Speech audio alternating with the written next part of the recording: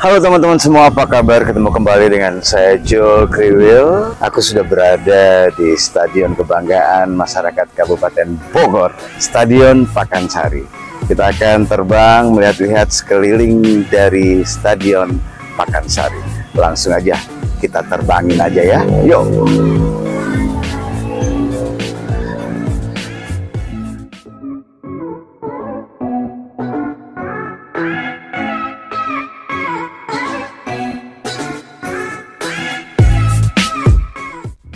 Stadion Pakansari Stadion Pakansari adalah sebuah stadion sepak bola yang berada di wilayah Pakansari, Cibinong, Kabupaten Bogor, Jawa Barat, Indonesia. Seperti terlihat di gambar sungguh cantik sekali stadion Pakansari ini. Stadion ini bertaraf internasional dan saat ini digunakan sebagai markas tim PS Tira Persikabo untuk ajang Liga 1. Kawan-kawan, ada baiknya juga kita mengetahui awal pembangunan atau cerita seputar perjalanan Stadion Pakansari ini sampai terwujud secantik ini.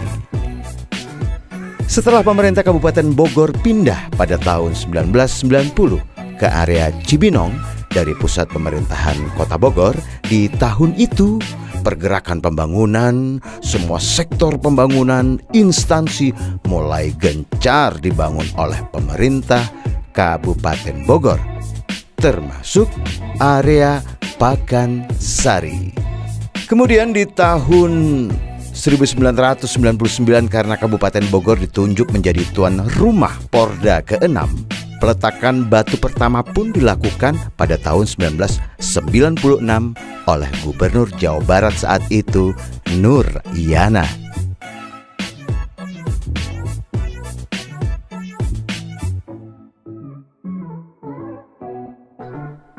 Wow.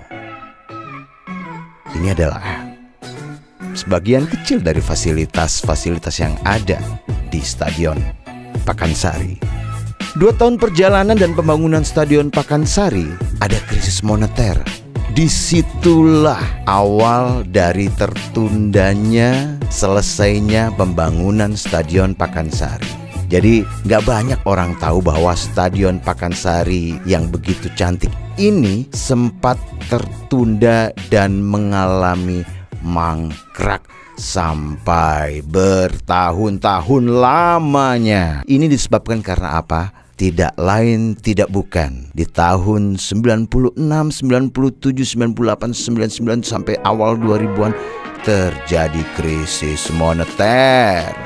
Di situlah tertunda karena adanya krisis moneter ini yang terjadi di Indonesia dan dunia. Betapa cantiknya kita lihat dari atas Stadion Pakansari ini.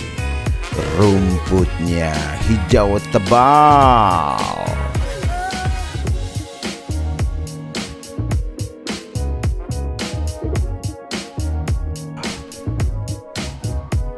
Dan teman-teman, pembangunan yang sempat tertunda dan memangkrakkan Stadion Pakansari pada waktu itu dilanjutkan lagi pembangunannya.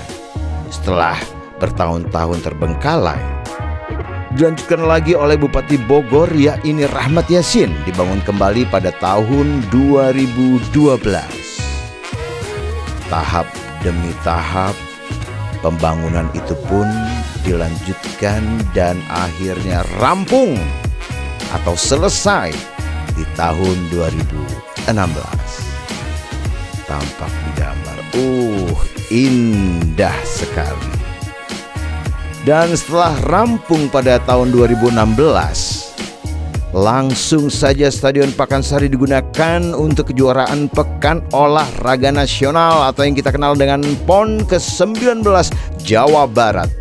Dan juga langsung dipakai sebagai ajang Piala AFF di 2016. Dan tidak lupa setelah jadi itu Stadion Pakansari diresmikan oleh Gubernur Jawa Barat pada saat itu yaitu Bapak Ahmad Heriawan.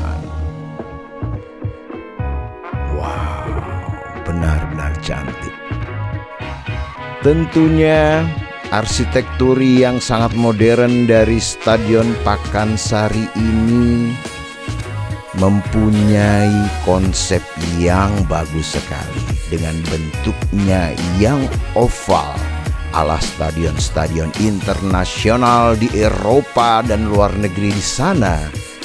Wow, Stadion Pakansari ini juga direncanakan akan terus melengkapi sarana-sarana semua bidang-bidang olahraga atau cabang-cabang olahraga yang ada untuk meningkatkan prestasi-prestasi atlet-atlet Indonesia.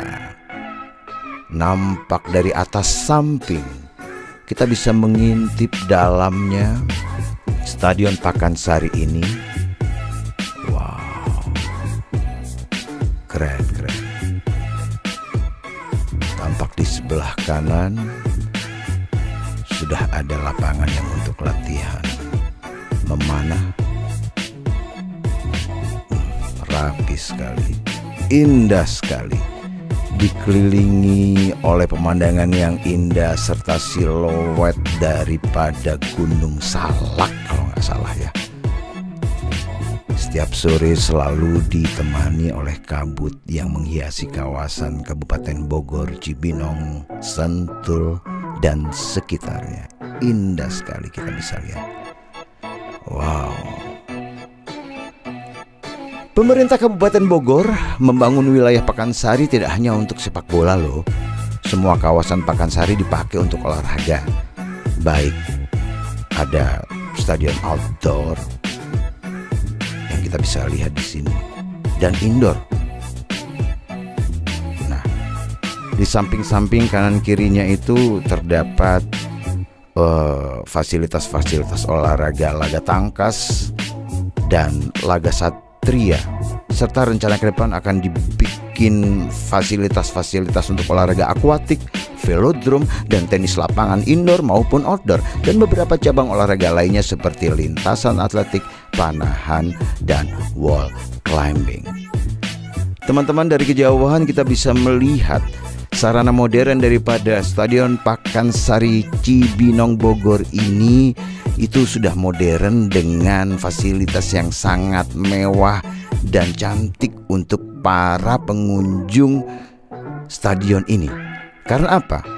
Karena tempat duduk atau seat yang digunakan di Stadion Pakansari ini menggunakan sistem single seat. Jadi artinya setiap penonton ketika nonton laga olahraga sepak bola atau apa pun itu itu dia mereka harus duduk sesuai nomor seat yang ada di tiket mereka. Jadi ini sungguh benar-benar stadion yang cantik dan modern. Bangga saya sebagai warga yang tinggal di daerah Kabupaten Bogor.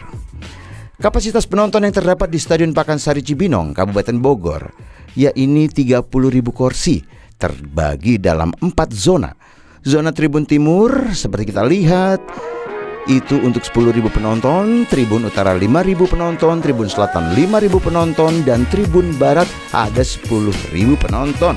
Dikurangi untuk penonton VIP tentunya ya sekitar 800-an. Nah, seperti terlihat gambar itu adalah eh, sarana-sarana uh, cabang laga satria dan cabang yang lain. Sebelah kanan juga kita bisa lihat lapangan bola kecil atau apa itu ya wow keren banget keren banget keren banget dan Stadion Pakansari ini dibangun di atas lahan sekitar 30 hektaran kurang lebih ya ruang media juga ada. Ruang medis juga ada lah pasti ya. Juga ruang sekretariat ruang kesehatan ruang ganti pemain ya iyalah. Ruang wasit ya pasti dong. Saya juga membaca di berita online total toilet yang tersedia di Stadion Pakansari berjumlah 48 toilet banyak banget. yaitu lantai di bawah 24 toilet yang disediakan untuk pria dan wanita serta 24 toilet ada di lantai atas seperti itu. Wow, keren sekali.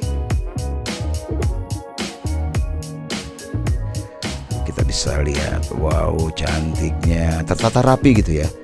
Nih kita intip nih.